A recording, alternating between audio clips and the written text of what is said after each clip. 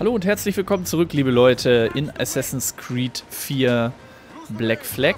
Wir retten erstmal jemanden hier aus dem Wasser, das kann ich immer nicht sehen. Wenn hier Leute einfach rumeiern auf dem Floß und wir dann da tatenlos dran vorbeifahren. Ja, wir müssten unsere Crew nicht auffüllen, aber wir können es halt trotzdem machen und tun es dann auch. Kein Problem. So. Wir sind auf dem Weg zu diesem äh, viel beschriebenen Fort und wollen natürlich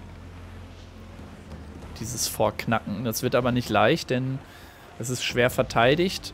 Immerhin sind wir jetzt nicht mehr gesucht. Das heißt, Wahrscheinlichkeit, dass wir hier... Oh, wir sind gerade in so einer Windböe. Uiuiuiui.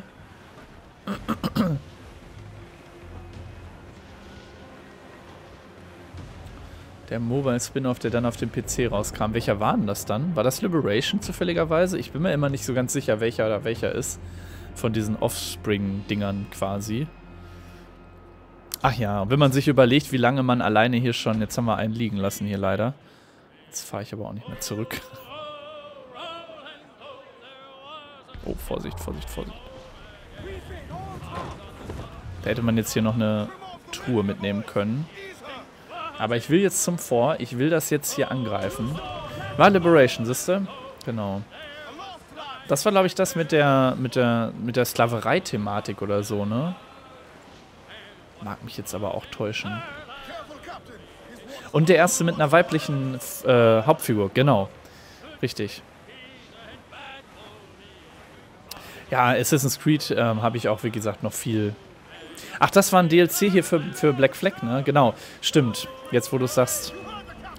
So, es geht los, liebe Leute.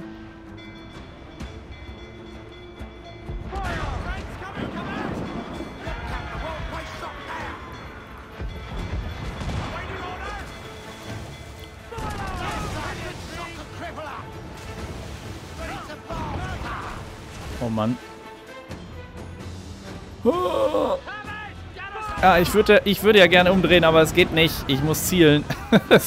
Mist. So war das nicht geplant. Okay, den haben wir. Schön.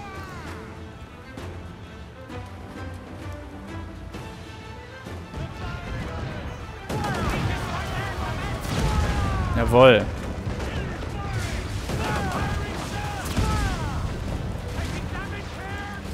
Oh. Oh. So.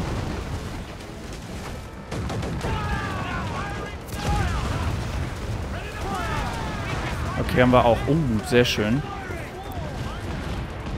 Da ist jetzt nicht mehr so viel übrig, aber wir haben auch schon gut eingesteckt. Äh, Mist. Okay.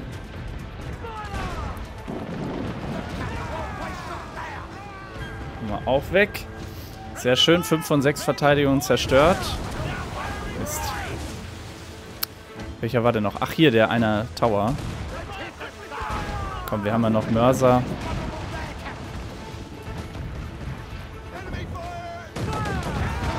Yes! Das Vor ist kaputt.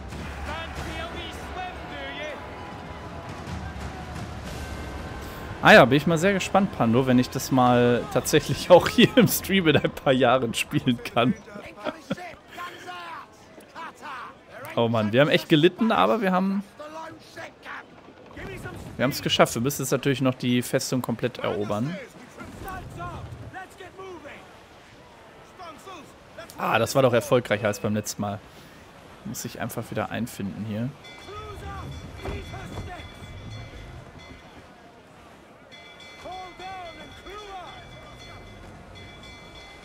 So, ich werde jetzt einfach mal... Ah, können das Ruder nicht verlassen in einem Konflikt, ja. Wir müssen wohl... Hm.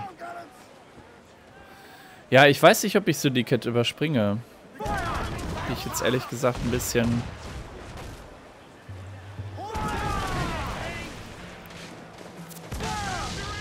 So, jetzt haben wir die beiden kaputt. Das müsste doch eigentlich reichen, oder?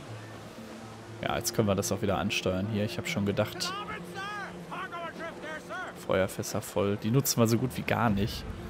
Vielleicht kriege ich das ja mal hin. Halten für Andocken. Okay, machen wir. Ja, nee, ist schon. Ja, meinte ich, wenn ich äh, Unity überspringen würde, aber ich bin mir da nicht so ganz sicher, ob ich. Ich weiß halt nicht. Also, ich weiß, dass das Spiel es wirklich stark übertreibt. Ähm, wenn es darum geht mit den ganzen Nebenaktivitäten und Co. Ich weiß auch, dass der Charakter wohl nicht für jeden was sein soll. Ich habe aber keine Ahnung, wie gut oder nicht gut die Story ist, ob sich das wegen der Story alleine lohnt, durchzuspielen. Und man dann wirklich sagt, wir machen gar keine Nebenaufgaben, nur den Story-Kram. Und nur das Aller, Allernötigste, was man wirklich machen muss. Ähm, das ist ja selbst auch hier schon so, dass ich jetzt sage, ich mache jetzt nicht jeden kleinen Sammelquest-Gedönskram, weil mir das dann einfach auch zu heftig ist. So, wo sind denn die Offiziere? Da hinten irgendwo. Hallo!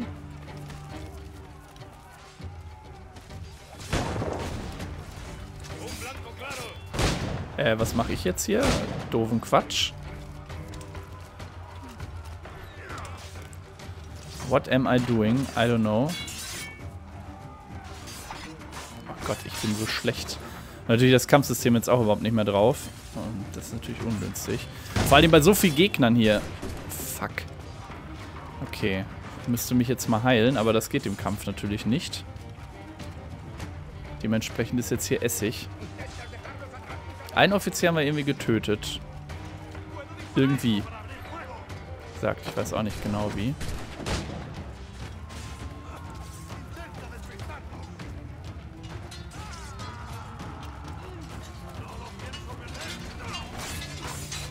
So, Nachladen im Laufen, alles klar, haben wir gemacht, haben wieder zwei Schuss, vielleicht reicht das ja.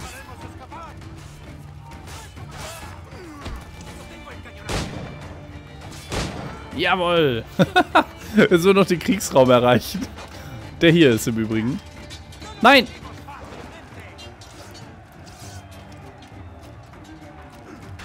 Ja, wie komme ich denn jetzt weg? Ich habe keine Ahnung. Mano.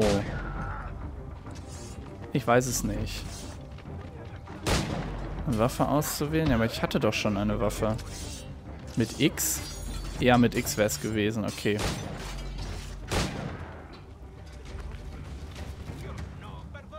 Warum auch immer ich jetzt nicht gestorben bin?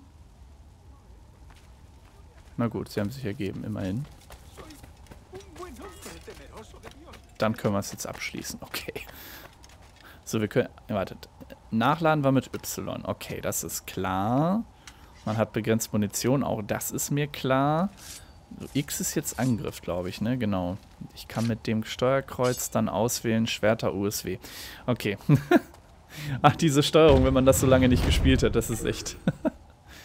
so, den Kommandanten eliminieren, ja. Gut, da können wir natürlich mit den versteckten Klingen arbeiten. Guck mal, ich möchte dich umarmen. Bitteschön. Der Arme, ey. Naja. Ja, wobei, wir wissen ja nicht, was der vorher so angestellt hat, ne? Yeah, neues spanisches Fort erobert. Alles in Flammen. Eine neue Operationsbasis. Man Unity nur auf Hauptstelle-Kit, okay. Ja, vielleicht ist das wieder so ein Ding, ich weiß es halt nicht, aber ich könnte mir vorstellen, dass es wieder so ein Ding, das einfach ziemlich mittelmäßig wahrscheinlich ist, ne?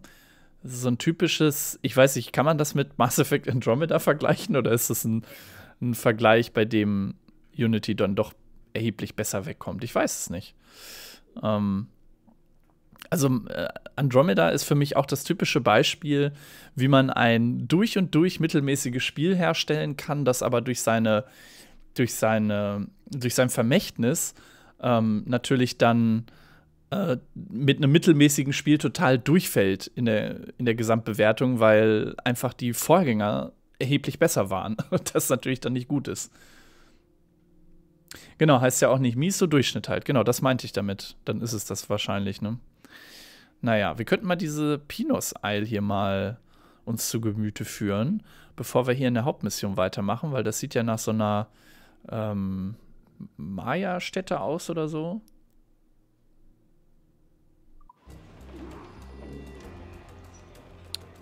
Ja, das war so das, was ich ungefähr mir dazu nämlich auch gedacht habe.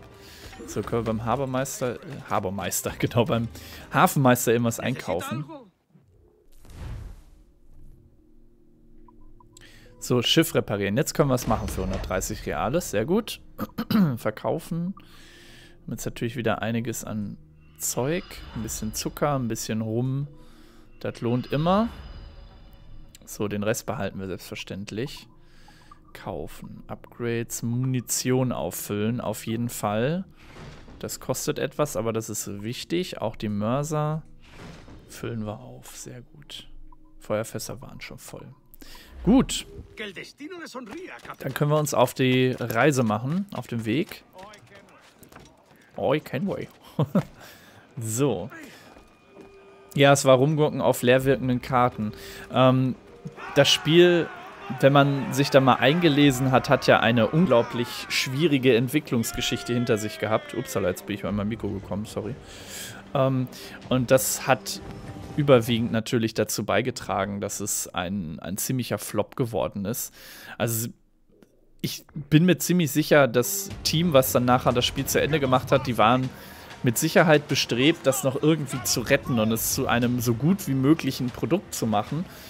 Aber das Grunddesign war so megalomanisch angelegt, also so unglaublich zahlengetrieben. Ja, du kannst jetzt hier x viele Welten sollst du ansteuern können und auf allen sollst du tolle Dinge tun können. Und wenn du schon so mit einem Grunddesign in eine, in eine Spieleentwicklung gehst, für die du nur wenige Jahre Zeit hast in der Regel, dann ist klar, dass daraus nichts Vernünftiges werden kann. Und dann gab es ja die ganze Geschichte mit der EA-Politik und es war schon klar, dass da nichts Gutes bei rauskommen kann. Nur, ähm, ja, ist trotzdem schade, wenn man dann diese, diese seelenlosen Welten dann sieht Schade. Ach ja, genau, die Engine-Geschichte spielte da auch eine große Rolle, hat Pando recht, ja. Die Engine-Geschichte hat das Spiel auch ziemlich behindert in der Entwicklung, oder die Entwickler vielmehr. Ne? Ja. Ah, hallo, Osling, hi. Ja, Anthem ist ja auch ziemlich, ziemlich in den Orkus gefallen. Wohl auch ziemlich zurecht, ne?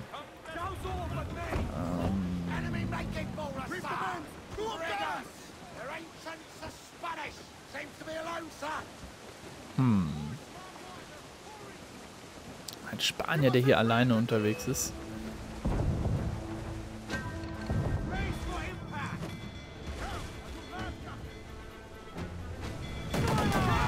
Wo jemand Lust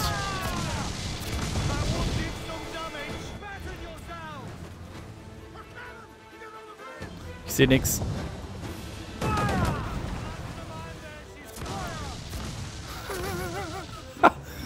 Ähm oh, ich sehe fast nichts. Hilfe.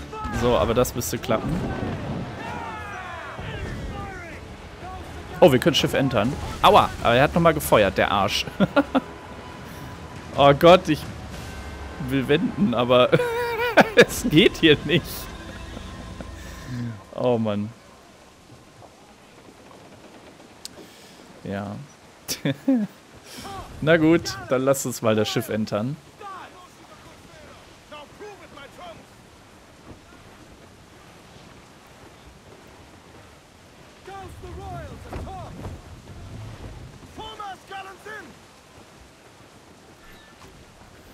So, aufmachen zum Entern, liebe Leute.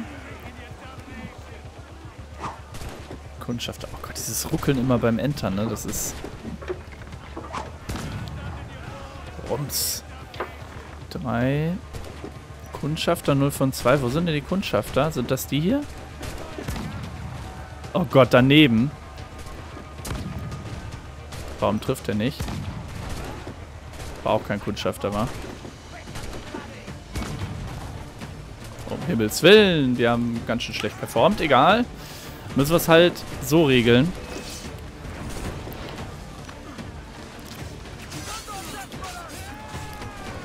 Okay, mit B war Kontern angesagt.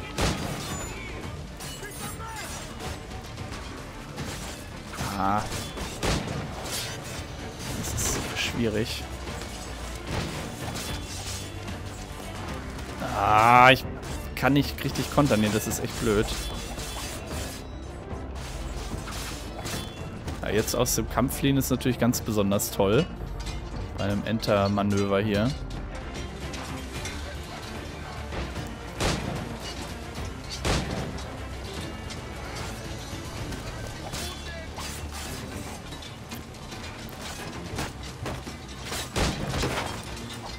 So, erstmal die Crew töten. Die Kundschafter weiß ich immer noch nicht. Waren, waren die oben oder so?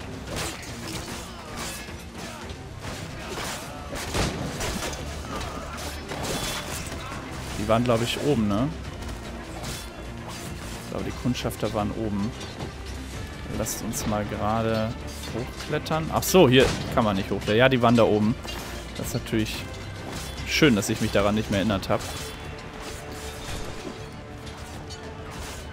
RT, jawohl.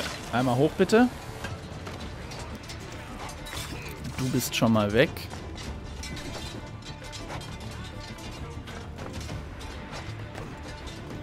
Und du folgst, wenn ich hier mal hochkomme.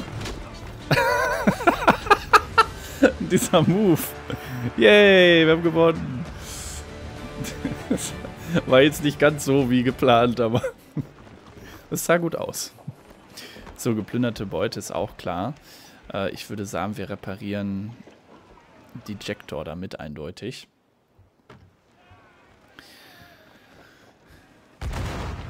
So, Schiff versenkt. Beute gemacht. Sehr, sehr gut. Damit können wir jetzt endlich auf diese Insel hier drauf.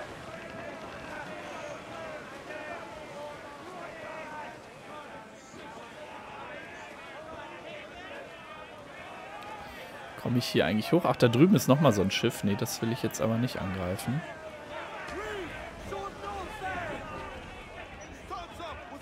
Wieder ist der Held seinem Ruf gerecht geworden. Ja, genau. Knapp.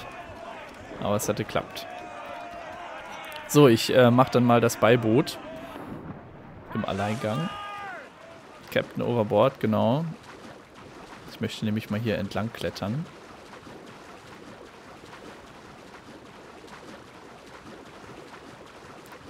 So, in diesen Ruinen hier. Pinos Isle. Es gibt hier zwei Maya-Stelen, einen Aussichtspunkt. Den werde ich vielleicht als erstes gleich ansteuern. Ähm, gucken wir mal. Hier ist gleich schon so eine Stele. Truhe, hier unten war ein Fragment. Ja, das ist ja nicht ganz so wichtig, aber ich glaube, der Aussichtspunkt, der muss schon angesteuert werden hier von uns. Da komme ich nicht hoch, aber hier auch nicht. Hm. Moment, ich kann ja einmal hier lang. Ja, genau. Und dann kann ich hier hoch, ne? Ja, exakt. Und hier sind wir jetzt... Äh, muss ich das unten bewegen? Warte mal, wie ging das nochmal? Das ist jetzt alles hier für mich quasi wieder Neuland. Und da hinten habe ich noch das Fragment gesehen. Das nehmen wir auch schon mal mit. Wo wir gerade schon mal hier sind. Ach, da muss ich runterspringen. Ja, nee, das ist natürlich jetzt gerade doof. Da muss ich den ganzen Weg wieder hochklettern. Wie konnte ich das Ding denn jetzt hier damit interagieren? Hoch? Ah, wenn ich oben bin. Alles klar. Und jetzt müssen wir hier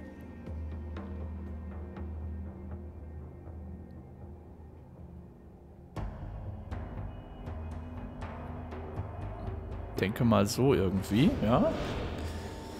Neues klar. Und dann wird in der Mitte hier das Ziel deutlich. Und jetzt macht es auch Sinn, nach unten zu hüpfen. Dann müssen wir zwar gleich trotzdem nochmal hochsteigen, aber hm, ich glaube, wir machen das. Nicht, dass wir es nachher wieder vergessen. Ich kenne mich ja. So. Hui, Fragment. Auch wenn es nicht so wichtig ist. Und hier drüben gibt es dann etwas auszugraben.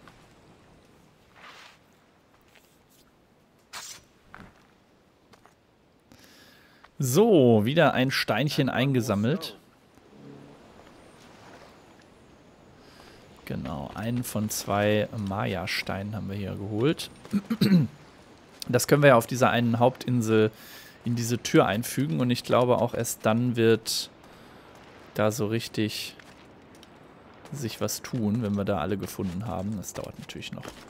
Klar. Okay, so, hier geht's wieder rauf. Irgendwo ist hier noch eine Truhe angeblich, aber wer weiß wo. Ich werde erstmal hier zum Aussichtspunkt schreiten auf dieser Pyramide. Oh, das sieht ja hier wunderbar aus. Guckt euch das mal an. Das nenne ich mal ein tolles Panorama hier. Schön.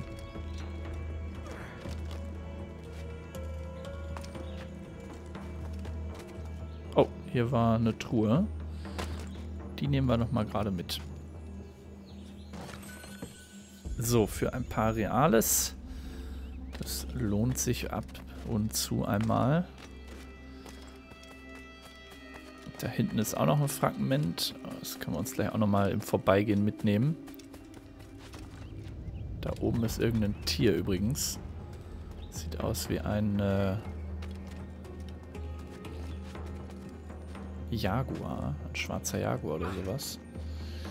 Aber wir gehen jetzt erstmal hier zum Aussichtspunkt. Sehr schön.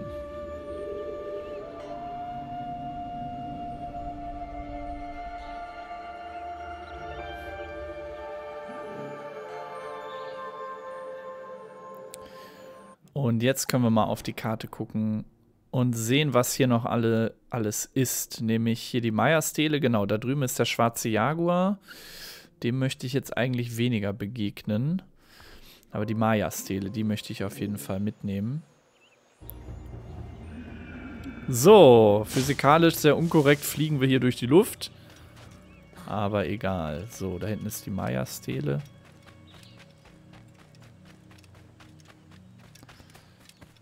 Und dann versuchen wir mal hier hoch zu klettern. Jawohl. Und dieses Mini-Rätsel hier zu lösen. Oh, das ist ja ein bisschen komplexer. Aber sollte machbar sein. So nämlich. Ha! Das geht ja ruckzuck. So. Dann würde ich sagen, runter mit uns. Und ausgegraben das Maya-Steinchen.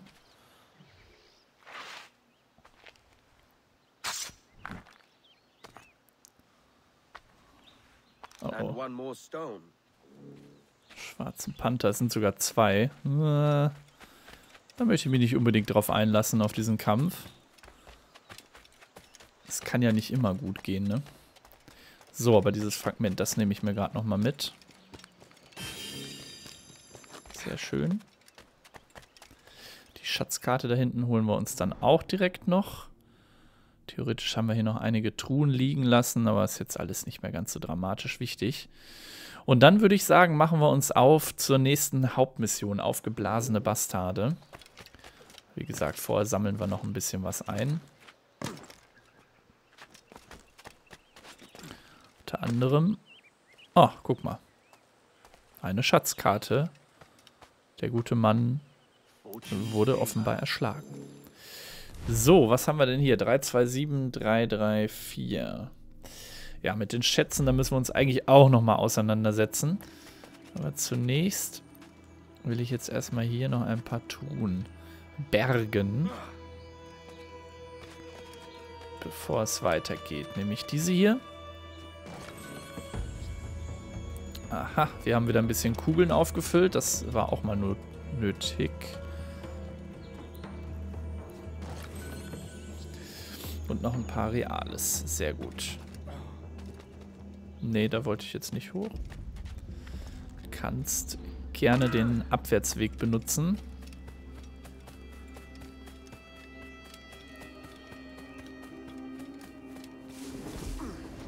Denn jetzt geht's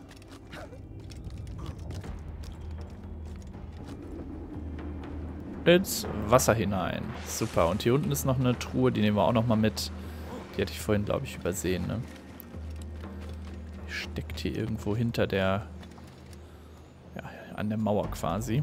Wer auch immer hier eine Truhe stehen lässt. Ah, vielleicht war das ja mal ein abgeschlossener Raum, wer weiß das schon. So, Teekanne. Okay. Nicht der Riesenloot, aber brauchen wir auch nicht unbedingt den Riesenloot.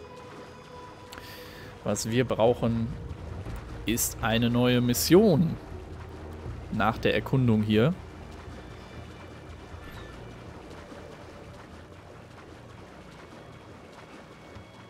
So, ja. Beiboote sind auch nur für Anfänger. Wir nehmen den direkten Weg. So gehört sich das und alle freuen sich, dass wir wieder unversehrt zurückgekehrt sind. Sehr schön. Ja, liebe Leute, beim nächsten Mal werden wir dann, wie gesagt, zur Hauptstory, ähm, zur nächsten Mission fortfahren. Bis dahin verabschiede ich mich erstmal für diese Folge. Danke, dass ihr zugeschaut habt und bis zum nächsten Mal. Ciao, ciao.